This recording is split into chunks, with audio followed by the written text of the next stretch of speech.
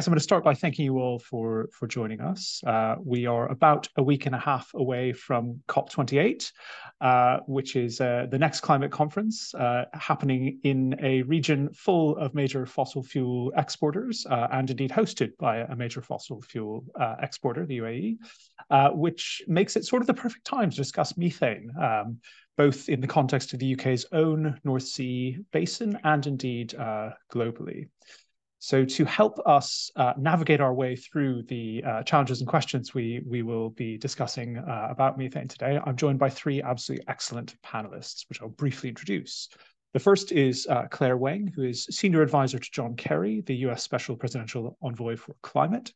She has a background working for American environmental NGOs and is an expert in this area. We also have Mats Rongved, uh, a petroleum engineer by training, but one who's focused on carbon capture and geothermal energy rather than just extracting uh, hydrocarbons. And you might think of him as uh, the just transition in a, a, single individual. He's now working for Bellona, an environmental uh, NGO. There's Mats joining us up there. And our third uh, panelist is Rebecca Tremaine, who played a key role in the UK's COP26 team and helped steward the UK into joining the Global Methane Pledge. Uh, she now heads up UK government affairs uh, at the uh, Clean Air Task Force. So I'm not going to speak for very long, but I want to give you all a bit of an intro to methane. Uh, so I'm going to start with the basics. What, what is methane? Well, most of you, certainly if you're joining us from the UK, uh, will know it as natural gas. It's the main constituent, uh, and it is often found mixed up in oil reservoirs and coal seams as well. And, and leaks from these make up about a third of the anthropogenic emissions of methane that we see in the world. Of course, methane doesn't just come from fossil fuels, it's also produced by uh, agriculture, notably cows and sheep, but also rice paddies. And those together, agriculture makes up about 40% of all of the methane emissions across the world. Uh, and it also comes from landfills. Um, so the uh, when biodegradable waste goes into landfill, it uh, is it breaks down um, anaerobically, and that emits about 20% of the methane emissions that arise from uh, human factors. So you might be wondering, well, why does this matter? What's what's the big deal? And the big deal is that uh, methane is a very potent greenhouse gas. Over the span of 100 years, it's about 30 times stronger than CO2. Uh, but over the very short term, over 20 years, it's over 80 times um, better at warming the climate than CO2 as those figures will will make you think this is a short-lived greenhouse gas it is actually destroyed by the atmosphere over time and so if you end methane emissions its temperature effect disappears and so it's kind of unlike co2 which for the purposes of sort of our lifetimes and our children's lifetimes is effectively permanent. All the CO2 that you put into the atmosphere basically stays there. Methane is removed. And that means that it's really interesting as a greenhouse gas. So because it's so strong but so short-lived, it's responsible for about half a degree of warming so far. And that's in the context of a, of a global climate goal of only a degree and a half of warming. So it's actually really quite a big deal. And we know that urgent action to reduce methane emissions could have a, a small but rapid and potentially very significant relative cooling effect over the course of this century. Uh, it's important to say that that cooling effect is pointless if society is not also cutting CO2. So there's no sensible way in which you should trade faster methane reductions for slower CO2 emissions reductions. But if we can cut both methane and CO2 quickly, then some of the tipping points that you will perhaps have read about uh, that are possibly going to happen this century like the collapse of the North Atlantic subpolar gyre or the collapse of the Greenland ice sheet and a few other sort of rather scary things, we might be able to avoid those. Uh, and so rapid methane emissions cuts are an incredibly important part of what we need to do to keep the planet in a relatively happy and livable state. Um, but I don't want to talk too far on this. I hope that's a helpful introduction for you all. Uh, I'm going to kick off by inviting Claire Wang to, uh, to start us off uh, and perhaps to answer the question of where the global methane pledge has got up to in the past two years. Uh, and perhaps you can explain a bit about the rationale and the numbers. So, you know, keen uh, listeners and viewers will know that the IEA said that uh, it's technically possible to cut methane emissions by three quarters from the energy sector by 2030. So, you know, why is the global methane pledge only only targeting 30%? Uh, I'll leave you to answer that and to answer uh, uh, to give our listeners and viewers a bit more of information about the global methane pledge. Thank you, Claire. Great. Thank you so much, Dustin. Can you guys hear me okay? Yep, loud and clear. Perfect. Um, I was having some tech issues earlier, but I am very glad that those have been resolved. Thank you so much to Green Alliance for organizing this event today, um, just on the cusp of COP28. And of course, thank you everybody for joining this very important conversation. Uh, Dustin gave a very uh, helpful overview in terms of the scientific imperative for us to cut methane emissions from all sources around the world by the end of this decade as a critical way to keep warming to 1.5 C and avoid crossing dangerous tipping points. Uh, because of the scientific imperative, and because while methane contributes uh, either one third or half of warming, depending on how you calculate it today, but receives far less than half of global attention. Uh, two years ago at COP26 in Glasgow, the US and EU launched the Global Methane Pledge, which is a collective commitment to reduce anthropogenic methane emissions by at least 30% by 2030 from 2020 levels. Uh, this particular figure, um, Dustin, as you noted, is born out of the uh, Global Methane Assessment from UNEP and the Climate and Clean Air Coalition that finds that technically feasible and readily available solutions can cut methane emissions across sectors to this level by the end of the decade, uh, which of course is aligned with a 1.5 C trajectory to cut overall methane emissions uh, in line with 1.5.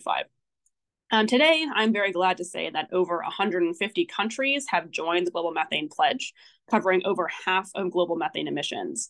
And in the short seven years to 2030, we now have to accelerate implementation of methane reduction projects and policies. First, to stop the record year on year growth of methane emissions, where today's trajectories will put us online for a 13% increase in methane by 2030, when we, of course, need to be decreasing that. So first, we must bend the curve to flatten out the growth of methane emissions and then see deep and rapid reductions. Of all of the solutions that we see across the methane uh, sectors, the oil and gas sector must play the leading role in achieving the fastest and deepest reductions because this sector has the greatest share of cost effective and technically feasible methane mitigation potential. And as Dustin noted, COP28 being hosted by one of the world's largest oil and gas producers is a critical moment for other producers and consumers to step up with actions to reduce methane emissions from their fossil energy production and consumption. As Dustin noted as well, the IEA estimates that over 75% of methane emissions in the oil and gas sector can be abated with, with existing technology, and nearly half of emissions can be abated at no net cost. To put that into context in terms of the benefits uh, to global climate, if we achieve the full methane mitigation potential in the oil and gas sector, that would have the same climate benefit as immediately zeroing out the emissions of every car and every truck in the world. Um, it's the equivalent of a 10th degree uh, Celsius in warming by mid century, which is incredibly substantial when we're talking about avoiding overshoot of 1.5 C. Um, of course, this has to happen in the context of a global decarbonization of the energy sector. But one very important thing to note is that even in 1.5C aligned pathways for oil and gas demand reduction, if we do not see that accompanied by specific targeted immediate actions to reduce the methane intensity of residual production, we actually will not reduce methane emissions quickly enough or deeply enough to overall reduce greenhouse gases in line with 1.5C. So that means that there is no climate substitute for immediate actions to cut methane from oil and gas. We will not be able to deliver our climate goals if we do not do that, even if we see full success in the energy sector. Of course, I just want to note that it's important for the oil and gas sector not just to cut their methane emissions, but to address their overall scope one, scope two emissions, putting aside the very obvious question of scope three actions. Um, to put it into context as well, scope one and two emissions from the oil and gas sector account for 15% of all energy sector greenhouse gas emissions. So that would be the third largest emitter in the world, even before you're taking into account emissions from the consumption of oil and gas which is a clear opportunity for the sector to cut those emissions. And IEA estimates that those emissions can be cut in half by 2030, again, as a critical complement to the energy transition to give us time to limit warming to 1.5 C. Importantly, cutting methane from the oil and gas sector is not just a climate solution, it's also an immediate energy security solution that can prevent the need for additional exploration of gas elsewhere by simply capturing the nearly 260 billion cubic meters of gas that are wasted every year in the oil and gas sector from flaring, venting, and leakage. Um, if this gas were captured, it'd be the third largest gas producer in the world. So again, a clear intersection of a pragmatic climate solution that also improves energy access and energy security in the near term. Um, for all of those reasons, accelerating national action and mobilizing new resources for methane reduction, particularly for developing countries, is a core priority of US climate diplomacy. And particularly to uh, inspire fast action on the fossil energy sector is a priority for us with this upcoming COP. Um, one, there, there are two things that I want to flag for your attention to track as we head into the next two weeks of COP. The first is the methane finance sprint, which President Biden launched at the Major Economies Forum this April, challenging countries and philanthropies to deliver at least $200 million in new grant based funding for methane reduction across sectors by COP28. This is critical because even though methane is the second largest contributor to warming, uh, methane finance only accounts for 2% of overall climate finance, as was found in a report from the Climate Policy Initiative last year. So clearly, we need to align global climate finance flows to take into account the outsized importance of methane reduction. And uh, keep your eye on the space because we are on track to uh, over deliver the methane finance sprint uh, and potentially uh, over double the amount of grant funding available for methane reduction in developing countries from last year's levels. A second area that you should keep your eye on is the space of national action in fossil energy methane.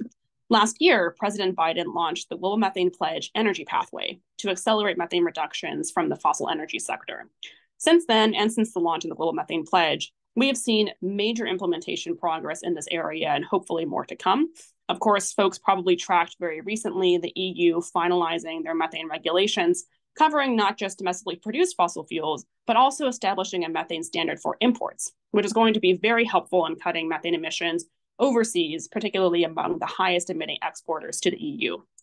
Additionally, the US, Canada, and Australia are all in the process of finalizing strengthened regulations to cut methane emissions from our oil and gas sectors and we're seeing a lot of action as well from developing country contexts. So, for example, last year, Colombia and Nigeria became the first countries in South America and Africa, respectively, to develop methane regulations in this sector.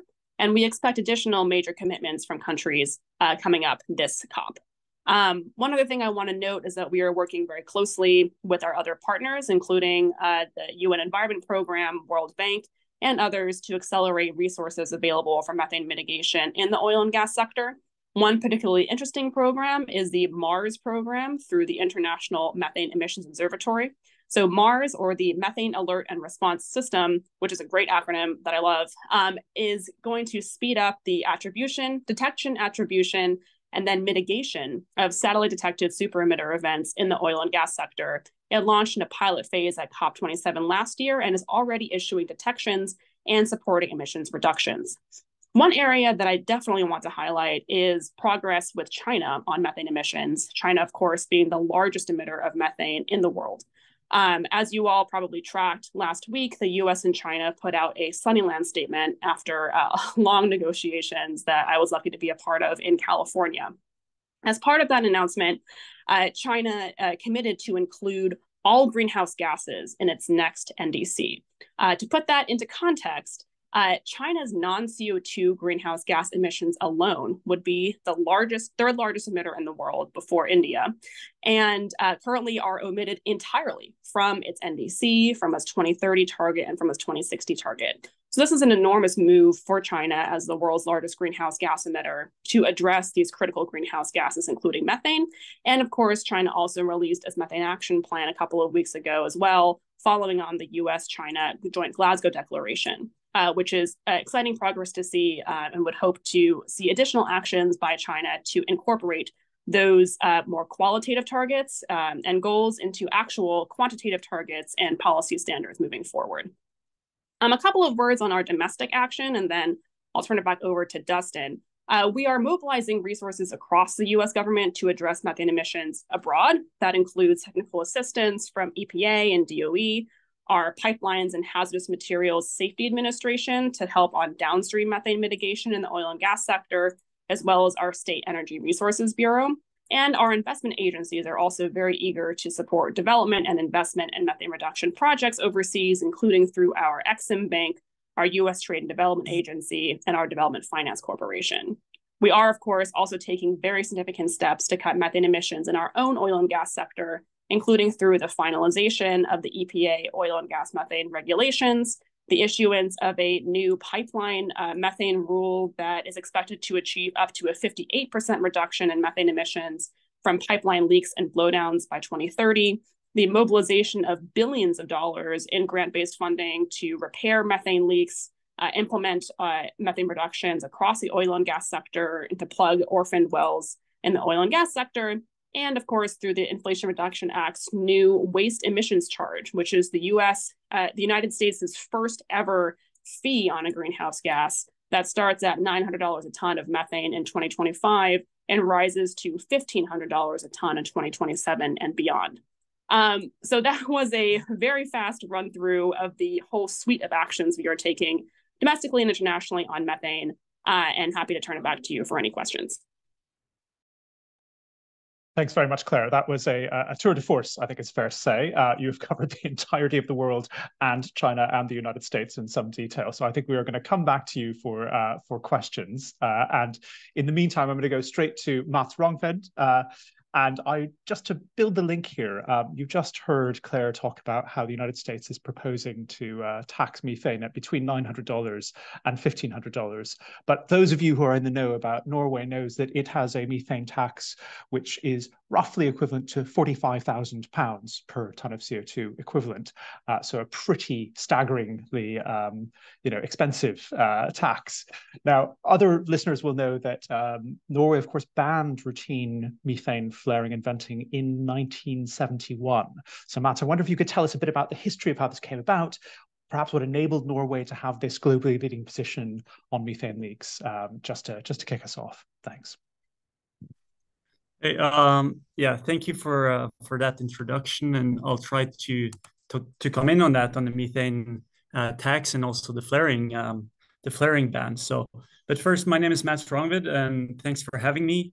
I work for the the Norwegian environmental NGO called Bellona, where I normally work with uh, with CCS and hydrogen, but the natural part of that is methane.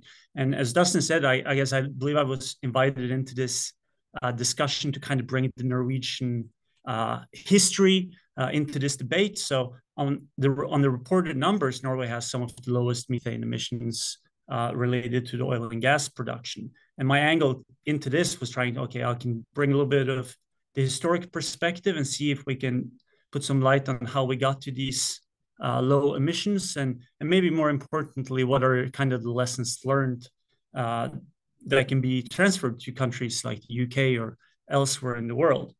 Um, but I'll, I'll, start a little bit with the history uh, to, uh, of this. So Norway found oil in the late 1960s, and as a poor country, then uh, the government asked uh, a committee to how can we manage this resource for the greater good, and this committee came up with 10 recommendations. Um, they had later been called the 10 oil commandments.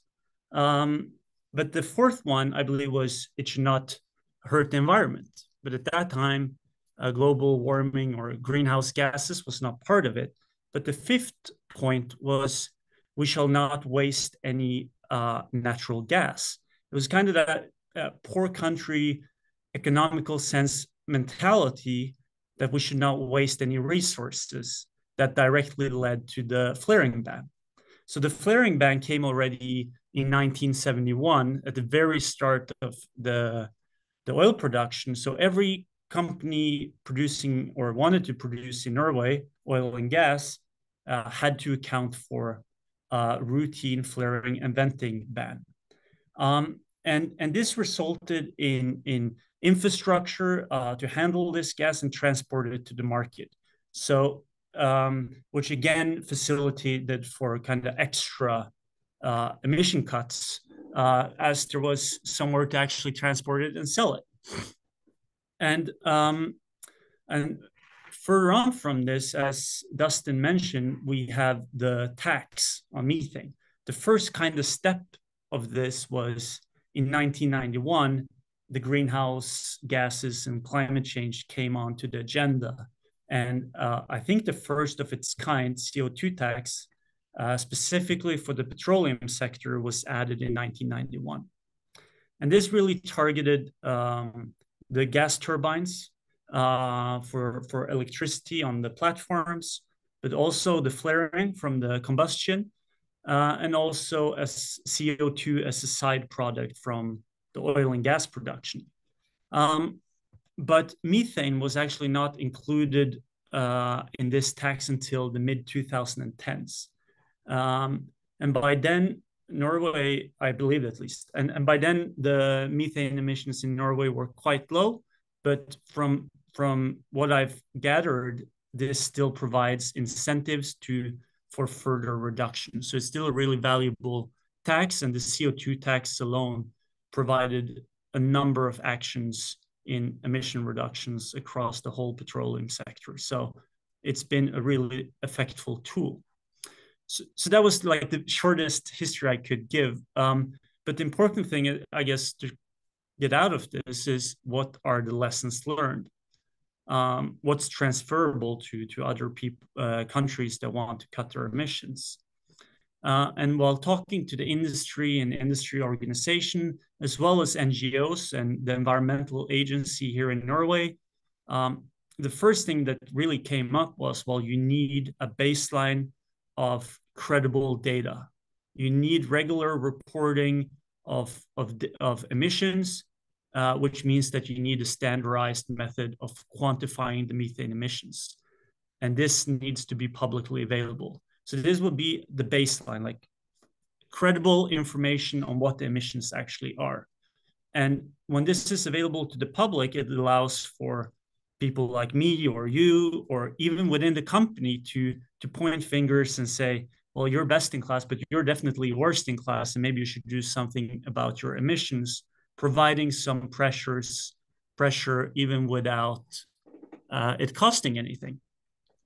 Uh, and on top of this, you can add the tax, which we have done in Norway, and and even the industry that I talked to has been been kind of positive, at least, uh, as it provides some kind of flexibility in where to cut the emissions. But those two together are are at least from a Norwegian perspective have been quite effectful. Uh, unfortunately, I guess I cannot provide like the answer to or experiences from the flaring ban that can be directly uh, applicable to the UK, as I guess in Norway they planned it from the start, but in the UK you need to retrofit it to existing operations.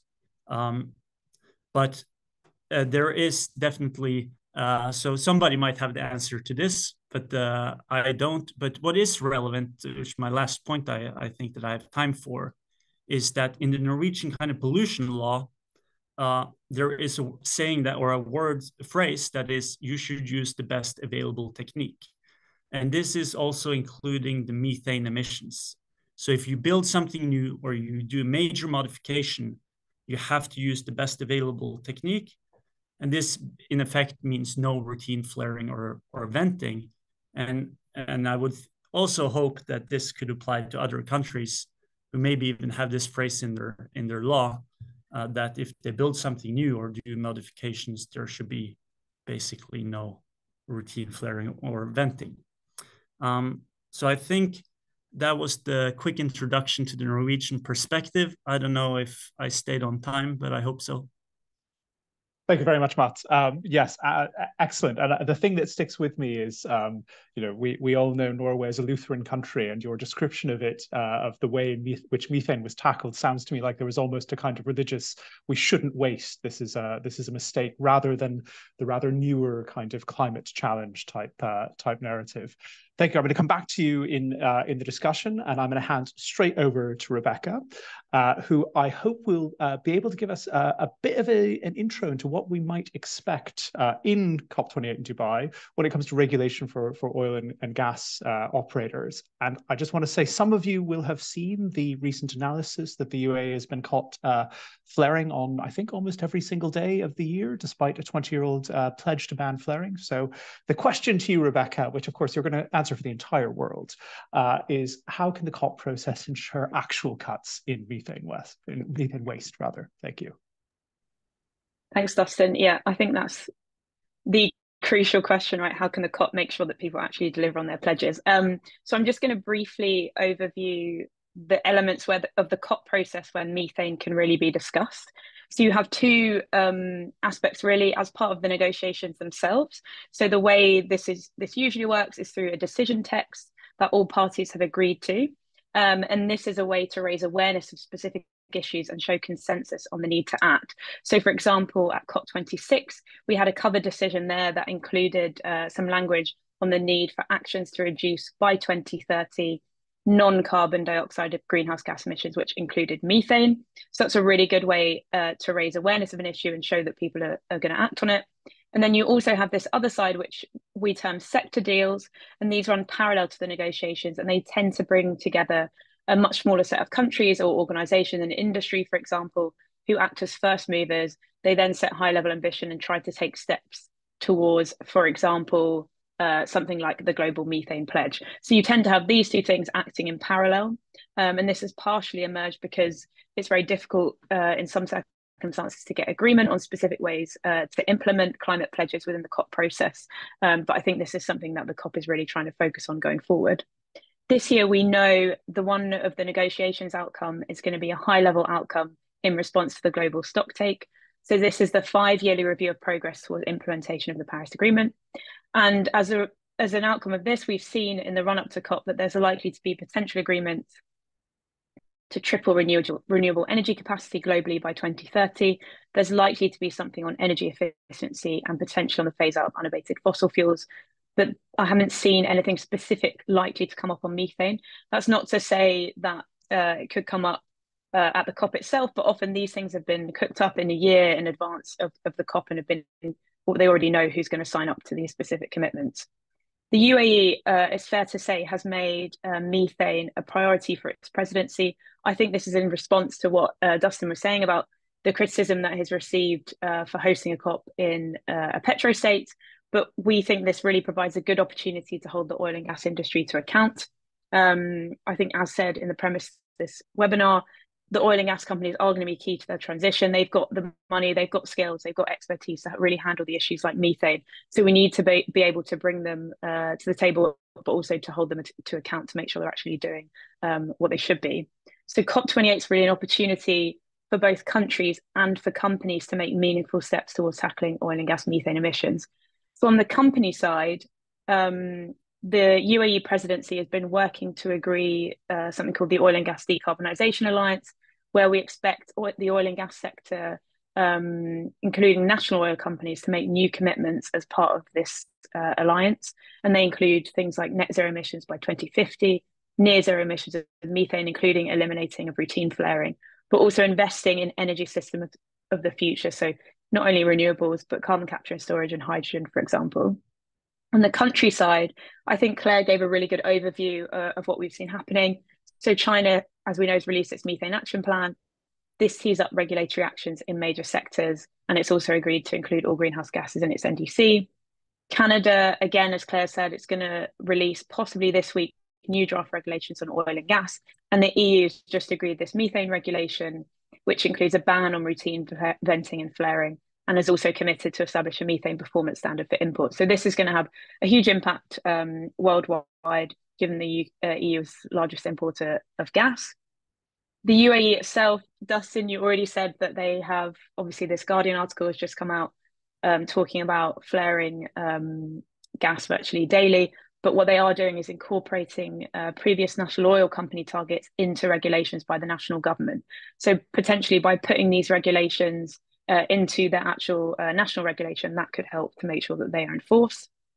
And then just um, on the UK side, um, I think it's unlikely that we'll see new commitments on methane coming from the UK, but we know that the international pressure, both at the COP uh, and also the movement on things like the EU's regulations, could really help uh, in order to push the UK to do a bit more in the future.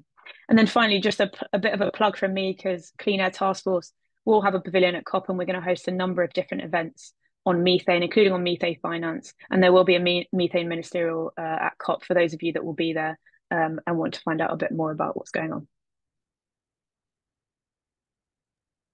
Thank you very much, Rebecca. Uh, I'm, I'm going to facilitate a discussion between the, the different panelists we've got, um, but uh, I want to remind those of you in the audience who are taking questions. Uh, so please do use the Q&A function. Please pop in your questions and we will we will come to those. So uh, my fellow panelists, please uh, please pop on your cameras. Uh, I'm going to kick things off with a um, what I hope, which sounds like uh, quite an easy question.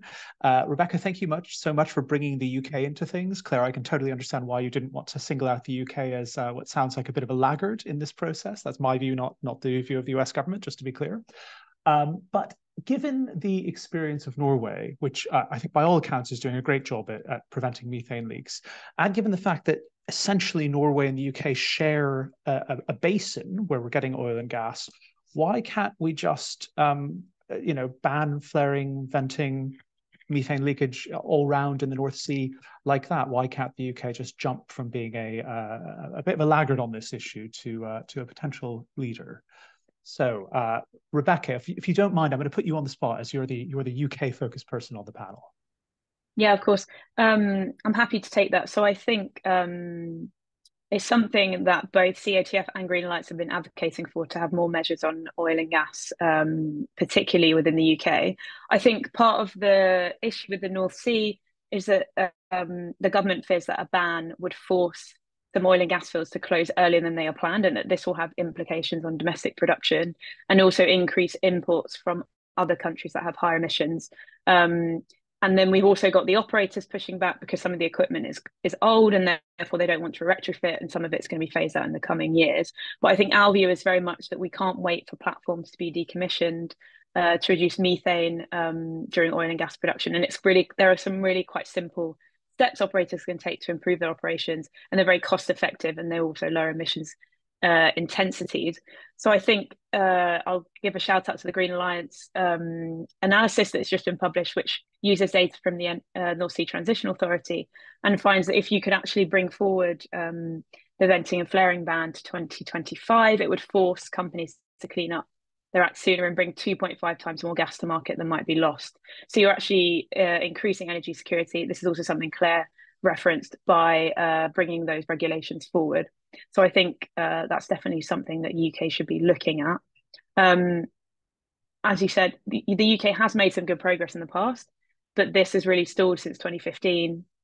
And whilst they put a lot of, um, they did sign up to the Global Methane Pledge, there's a lot more that they need to be doing um, essentially uh, to be able to meet the targets that are really expected under that and we think really that routine venting and flaring ban coming forward from 2020 2030 to 20, 2025 is a really simple measure that could be done uh, to actually save a lot of energy uh, a lot of gas being released Thank you. And Mats and Claire, I mean, Claire, I, I, think you will probably have some experience of how the United States has handled, um, you know, the, this question of retrofitting uh, reductions in, in methane emissions from the oil and gas industry. But also, Mats, you're, you're obviously a petroleum engineer by training anyway. So I wonder if you could tell us a little bit about how difficult it is to actually cut methane leaks. And Claire, if you could share some experience from how the United States has navigated this challenge. So yeah, Oh, Let's, yeah. Head Matthew first. You want to go first, Claire? Go for it. Yeah. Um. Yeah. So so as I'm trained as a by education as a petroleum engineer, uh, unfortunately, my work experience there is is zero. Um. But um, I don't know. I think it's about there are many things you could do to to cut emissions and and I think the tax and and the reporting issues I highlighted is is a really easy and and a no-brainer in a way uh, thing to do because it will force uh, emission cuts uh, that are sort of that are easier to do and as Claire pointed out it might not even be that um, that costly um, and and in regard to kind of the retrofitting I, I maybe you guys Claire can show shed some light on that. But um, well, I think for some some installations, it's definitely possible, and maybe there is. Uh, it's easier to do collectively and kind of share some infrastructure to handle the gas, and somewhere where you actually have maybe gas pipelines, and it's close to that kind of infrastructure, it should be a lot easier. Um, but but uh, from the Norwegian perspective, I guess it's not uh, an experience that can be transferred. And maybe there are other places in the world where this has been enforced that actually have more like updated uh, experience on this. I, I, think, but I don't have any. Uh, yeah. So the, the, the, downside of getting it right the first time is you don't have to work out how to uh, to get it right the second time. But Claire, perhaps uh, if the United States didn't get it right the first time, perhaps you can share some uh, some lessons of how it's getting it right now. Yeah, thanks, Dustin. And I um, I shared earlier uh, some of the an overview essentially of the new policy and regulatory steps that we're taking in the United States to address methane from the oil and gas sector. And of course, those are being implemented by the Environmental Protection Agency, not by the State Department in a purely international facing role. Um, but of course, there you know, in addition to that laundry list of new federal actions being taken, there's a lot of leadership that is taking place at the subnational level as well, for example, in Colorado, California, and New Mexico. And that's a really useful part of the US policy process in general, is seeing the innovation taking place at the state level and then eventually diffusing those best practices to the federal level as well. Um, but if I can actually redirect your question a little bit, um, I know the conversation here has been focused mostly on developed country perspectives, but of course, the, the largest emitters of methane from the oil and gas sector and in general really is in a developing country context, where these questions of retrofits is, is increasingly uh, and particularly uh, important and challenging. Um, we all know that cutting methane emissions from the oil and gas sector is probably uh, the cheapest, among the cheapest climate solutions the world has in general. There's an enormous share of this reduction potential that can take place at no net cost. And even the solutions that take place at cost can mostly be done at less than, say, $20 a ton of CO2. The problem is they still require new capital investments, they require changes in operations, they require a lot of capacity building, to either track methane, which is not typically part of a company's ordinary operations from a, beyond just a pure safety perspective, and also to implement those required interventions. So all of that means that unless you have um, clear policy and regulatory actions to require those reductions, clear incentives to do that or you know clear mandates from an investor perspective those implementation uh, that implementation of methane solutions just simply is not going to happen because it's not part of the core mandate or business model of that oil and gas company. And even the solutions that can take place at negative cost generally tend to lose out in terms of their return on investment compared to more conventional uh, opportunities to produce oil and gas. Um, and so that's why I think it's incredibly important as we actually try to achieve solutions to take those barriers very seriously. Because uh, even though a, a, principled approach on climate would indicate that industry should act on this, which of course is true, if we don't really take steps to address those barriers to capacity and capital, we just won't see the solutions taking place. And so that's, I think, particularly important in developing country contexts where there are legitimate barriers to accessing capital in areas that have higher risk atmospheres, for example. There are a lot of challenges in implementing policy and regulatory steps if governance is weak. And so I think it requires a lot more creativity and a lot more uh, sort of direct considerations of these incentives if we really are going to address emissions in, say, an Algeria or a Turkmenistan, for example, compared to a Norway, US, or UK. That's a, a wonderful introduction to the realpolitik of this. Uh, it may be intellectually rational to cut methane emissions, but you've got a bunch of barriers that uh, maybe uh, people aren't thinking about. I want to kind of uh, pick up on something though that Mats you said uh, you, you, mentioned um, blue hydrogen, and uh, I just want to draw out a little bit about the future of the oil and gas industry here, Claire, particularly touching on what you just said about how this has to be something that is investable, and if we're going to capture methane, there has to be a kind of rationale for it. So blue hydrogen has been talked up as a climate solution, but we, we, know that methane leaks sort of undermine the climate benefit of anything involving oil and gas. And we also know that hydrogen, if it leaks, is an indirect greenhouse gas, so it prolongs the lifetime of methane in the atmosphere. Uh, I guess the question to you all is how do we ensure that blue hydrogen is actually a climate solution and not something that ends up backfiring in climate terms? Uh, so, Matt, as you introduce the blue hydrogen thing, I'll, I'll ask you and then I'll come to uh, Rebecca and Claire after you. Yeah, so very interesting uh, questions um, and question. Uh, and first of all, yeah, I'm not a policy expert, so the how to actually regulate it, uh, I'm not that sure. But what I am sure of is that if we are going to use blue hydrogen, or and now they are, I guess, the discussion on abated, um, uh, we need to take into account life cycle emissions. So from we produce the gas that is going to be used until we get kind of the final product, it all needs to come into to account. And, and then if you look at the numbers, it's quite obvious that high methane emissions not really even that high uh, in as a result of kind of the upstream and midstream uh, production uh, kind of tears down the whole uh, uh, thing of blue hydrogen being climate friendly. So I think for all kind of fossil fuel use, I guess there's a separate debate if we how we kind of going to prioritize it, but if it's going to be a part of the of the transition period at least, we need to regulate it, and it needs to be uh, done done for the life cycle emissions. But how to regulate it and how that process is going to be, I think maybe Claire or Rebecca can can answer better than me. So Rebecca, I might ask you on the policy thing, but Claire, if, if I can, you, you will know, and I realize this is a domestic question and, and you work for the international bit of the US government, so apologies, but the uh, Inflation Reduction Act has a huge amount of support for hydrogen across the economy. Can you say something about how the US is trying to avoid this kind of climate backfiring problem as it seeks to integrate uh, hydrogen into its energy supply?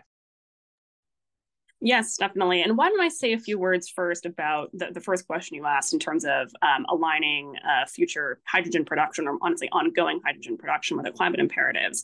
I think this um, shows two priorities that are also really important for our current efforts to cut methane from the oil and gas sector. First, um, we have a lot of problems with pipeline leaks today with methane hydrogen is our lightest uh, lightest molecule. So uh, re- remedying leaks of hydrogen is going to be even more challenging. So that just goes to show the importance of making sure that our existing pipeline transportation distribution infrastructure is as leak tight as possible, um, particularly as we prepare for more hydrogen ready applications. The second is again going back to the point I made earlier about cutting emissions from scope one and two emissions, or, sorry, scope one and two emissions from oil and gas production Obviously, the hydrogen piece only really addresses the emissions from consumption of a fossil fuel. But if the production of the gas is being used for hydrogen continues to have significant methane and CO2 emissions, that still leaves an enormous chunk of emissions on the table. Again, the third largest emitter of greenhouse gases in the world, just from the production without even factoring in consumption. So that's pretty substantial in terms of the amount of cleanup that we need to see to ensure that the overall life cycle of hydrogen is as clean as possible. Um, so obviously the, the steps that we are taking in the domestic side to uh, clean up our oil and gas production as well as our transmission and distribution infrastructure are all steps that will support um, hydrogen uh, being a cleaner solution. And there's also a host of other programs that uh, I can't even keep track of that are coming through the DOE in particular to implement um, the, the new innovation in this space to ensure that hydrogen production, not just blue hydrogen, but also green hydrogen and every other color, uh, takes place in as climate beneficial of a way as possible. And in particular, recognizing the role of that in other difficult to decarbonize sectors as well. Thanks, Claire. And Rebecca, I've just been looking at the uh, the questions the audience have put to us, and I think there is a, uh, a helpfully related question uh, from Duncan McLaren, who talks about the dynamic between this fossil fuel phase out kind of campaigns and, and, methane emissions control. And the question is, how do we maximize the climate benefit and minimize the life extension of oil and gas production? I think the, the question of blue hydrogen is perhaps central to this. So your thoughts drawing on perhaps Clean Air Task Force work in both the United States and, and perhaps Europe? Yeah, of course. I think um, that's a really good question and one that applies across a number of different things, I think, including on carbon capture and storage. I think on the methane side, this is, um, we're thinking very much about how to prevent the emissions from uh, existing oil and gas operations. So it's very much about how can you reduce the emissions that they're uh, that they are currently producing. And I think again, it's helpful to reference uh, the research that Green Alliance did here because if you look at the North Sea, um, there are 14 sites at the moment that are operating, but they're not really producing much oil and gas. But they are accounting for a third of all flaring and two thirds of all venting. So they're all due to close by the end of 2030. But really, if you could just get them to close uh, sooner, um, you would reduce quite a significant amount of the methane emissions. There are some sites that are going to operate beyond 2030, and those ones um, will basically they're going to continue to produce, and, and, the government is is not currently obviously taking. Uh, the government is going in the opposite direction of granting new oil and gas licenses. So it's very much about making sure that those things that are in existence are as least polluting as possible. Um, hopefully that covers some of that question. I don't. Others will probably have views on that as well. Yeah, I mean, certainly the way we've uh, built up the analysis to say there are some super emitters that are producing tiny amounts of oil and it's probably just not worth it. So in that sense, people who want to phase out oil and gas quickly and people who want to cut methane emissions are 100% aligned. But Mats, if if you don't mind, I'm going to put this back to you because of course um, you know, Norway is a is a good performer on methane, but we know that oil and gas scope three emissions, even if we got scope one and two to zero, and I thought Claire's point about how important scope one and two is was really, really well made. But even if we get a properly kind of zero production emissions oil and gas sector, we can't burn the stuff because we've got a climate to look after. How is Norway handling this uh, this challenge of oil phase out in the context of of being, as you said before, oil and gas a poor country and now being one of the wealthiest countries in the world? So uh, I guess that's kind of uh, not a good one for Norway in many senses because uh, we we have a government now that says we shouldn't uh, face it, not face out, but face down in a way. Uh, and we're not going to put a fair, um, a clear deadline for the oil and gas industry, which is kind of um, difficult to manage. But uh, but so uh, in a way, I guess the what the Norwegian government in a way is is taking as an as an angle here is, is uh, controlled emissions within the country, and not taking responsibility for for its usage. Um, but we do um, have a much, much, much larger. We export a lot more. I think we're the seventh biggest exporter of CO2 if you look at the at the what what it actually ends up being when you when you burn it. Um, so so Norway don't re- uh, doesn't really have as far as I'm aware of any ambitions on on that. But uh, what they do try to is is to go. Uh, one of their uh, ambitions is on carbon capture and storage and provide uh, kind of the CO2 storage for the European continent, which of course can, if done correctly, maybe provide um, uh, some some solutions uh, to that problem. But uh, it's also dependent on a lot of factors. I'm not sure if that answered the question, but well, I, I, think in a sense it's it's helpful to draw out that uh, Norway isn't perfect. Um, we, you know, both the Norwegian government and the British government are, are formally committed to, I guess, maximizing oil recovery. And although CCS could be part of the solution, there are big questions, as you say, about the uh, the, the, practicalities. I want to bring out another question uh, from uh, an audience member, Jonathan Stern, uh, who asked about, uh, you know, it's been two years since the Global Methane Pledge was signed. what's actually happened to emissions reductions? And I, I think long question, good one, but I'm going to summarize slightly that um, working out what's actually happening requires transparent data. And I wonder whether Claire, uh, Rebecca, you might be able to draw out what the Global Methane Pledge is doing to ensure that actual that there's real transparency on what's actually going on with methane emissions. Because we can kind of sign as many agreements as we want, but uh, the atmosphere only cares about the total stock of emissions that are getting into it. So Claire, if I can invite you to start, and then Rebecca, I'll, I'll come to you. Yes, definitely. This is a topic that we are very enthusiastic about. Um, I'll have to rein in my enthusiasm to keep within the time limit. But so yes, you're absolutely right that um, accurate methane emissions data is critical, um, especially given that it is not as easily tracked as CO2. It can emerge from so many different sor- uh, point sources or um, diffuse sources. And also there's a question of uh, tracking the difference between anthropogenic and natural methane emissions. So in terms of global methane concentrations, it's a pretty well mixed gas. So tracking what's happening to global methane emissions is fairly straightforward to do with scientific processes that I'm not as um, aware of. But it's the question of actually tracking national methane emissions, uh, improving national methane emissions inventories, improving uh, reporting of that to the UNFCCC, uh, and moving towards more um, granular and uh, you know empirical estimates of methane emissions rather than just relying on emissions factors that is so critical here. And countries are on vastly different parts of the learning curve when we're talking about this, um, and it's really no small task. But that's the reason why we really are focusing attention on capacity building for these methane emissions inventories in parallel with strengthened national policies. Um, that can be put in place even before perfect data is in reach. And that's something that our partner in the Climate and Clean Air Coalition, who serves as secretariat for the Global Methane Pledge, is really focusing on with their member countries. We're also focusing on that in our other efforts to integrate um, and improve uh, general greenhouse gas inventories in the, in the UNFCCC. Um, and also, that's why it's so important to have methane included in all NDCs because that is a core component of you know the global transparency mechanism to see progress towards emissions reductions. Um, one other area that I imagine that you uh, were interested in is the uh, growing use of remote sensing data for methane, which has been incredibly helpful in bringing transparency to where methane emissions are coming from. Um, there are um, a lot of really exciting opportunities here, especially as more satellites get launched. And as the integration of the satellite community proceeds, and IMEO, which I referenced before, is playing a very important role in that. Um, but I, I won't claim to say that it's perfect yet, especially because there's a lot of work to be done to reconcile different satellite methodologies for detection, to make sure those approaches are harmonized, to make sure that there's actually comprehensive coverage of satellite uh, detections around the world balancing the difference between the point source detectors and the more global diffuse uh, detectors as well.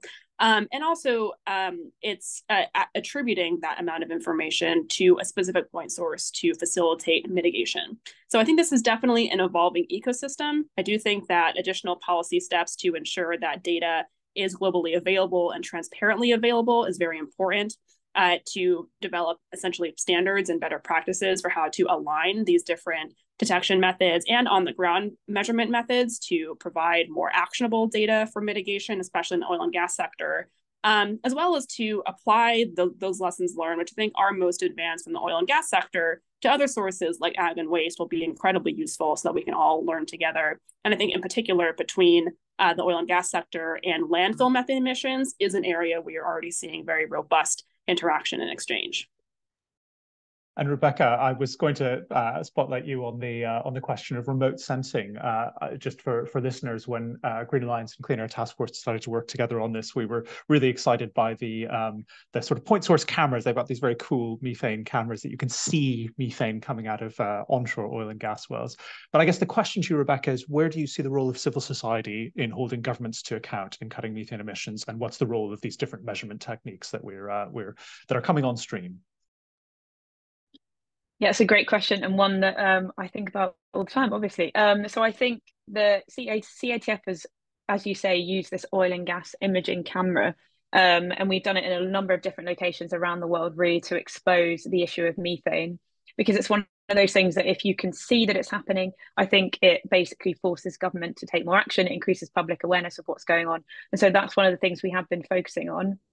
I think um, civil society has a great role to play not only in raising awareness but also um, in what Claire was saying about holding countries actually to account to make sure they're delivering on what they said they were doing. I think that question uh, on yes, it's all very well to have commitments and pledges, but unless we're actually delivering on them, um, what's their value? I think that's where civil society um, has a real role to play in exposing the progress that has been made or where countries are backtracking on the commitments that they've said uh, they will do um, and also making those connections across some of the different uh, areas. So, obviously, the Global Methane Pledge um, will be taken forward by different aspects within government, and they don't necessarily always talk to each other. So, there's quite a role for us to play sometimes in connecting the dots in governments that have limited capacity to deal on, with these issues. So, we've seen that a bit in the UK, where obviously agriculture um, sits very separately to what's happening on energy. So, it's quite useful for civil society to be able to play a bit of a bridging role there. And uh, there, there's another question which I think is quite closely linked uh, to this, which is, you know, we're if we're just sort of starting to get to grips with the measurement and verification side of things, um, you know, what does that say about the political ambition or lack thereof to to address methane? I mean, I think across the three of you, you've given an incredibly compelling case for rapid action on methane, and one could argue that. Um, it's easy in a sense in the oil and gas industry because this stuff is pretty cheap. Claire, you said under $20 per ton of CO2 abated. Uh, methane from landfill, methane from agriculture, big sources, but they're perhaps more difficult. So, can I invite you all to wrap up? And I will come uh, in order that you came in. So, Claire, Mats, Rebecca, to give your thoughts on the, driving up political ambition, and indeed what the future might look like as we tackle uh, the perhaps more challenging questions of agricultural and waste-related methane. So, uh, Claire, over to you. Yeah, thanks for the question. And uh, I really do want to underscore the enormous transformation of awareness and ambition on methane in the past two years alone. It really is a huge step change from people not even realizing the significance of methane for climate action to this groundswell of new NGO, philanthropic, private sector Ah, Claire, you're you're back. Yeah, you dropped out. Do you want to just wrap up very quickly, and I'll I'll move on. yes, that. I mean, essentially, I think that the world is taking leaps and bounds to address methane. Uh, I know today's conversation focused primarily on oil and gas, but there is a whole laundry list of transformational activities happening in ag and waste as well. So, I uh, you know, stay optimistic, stay focused on this question because it really is one of our essential climate solutions.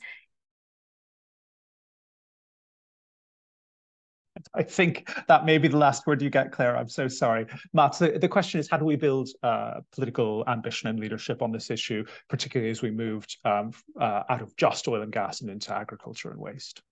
Um, yeah, so I, I, agree with Claire that there's a lot happening. I feel that it's momentum growing and and there's a big focus. I think it's really important for for new solutions like blue hydrogen and and and if we're going to use it for other things. So uh, I think there are many people that are dependent on on this, and and also I think in terms of like the data and the reporting is something we really have to push for to have reliable data. And Norway has done some, I think, and and it's been regulated and there's it's been done for quite a long time. So I think there are in other places as well. So I think there are lessons learned, and I think we just need to move um, and and learn together in, in a way.